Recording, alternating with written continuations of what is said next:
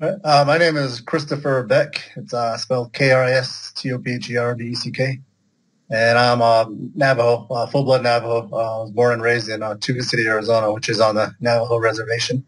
And then my stance with the Redskins is I've always been, I've been a Redskins fan pretty much my whole life. I started when I was five years old. And it's just, and since then, and it's just, it's, it's just always been like, it's been like the one constant team I've had my whole life. Um, and it started out just because I was watching watching football at that age, and the, just uh, the helmet and the name, you know, that's what that's what drew that's what drew me to it, and like that's what like wow, that's that's awesome, that's me.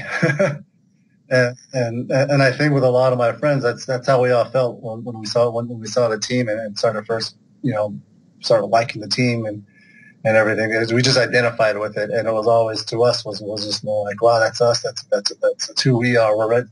Growing up, we call ourselves Redskins or, or Skins for short.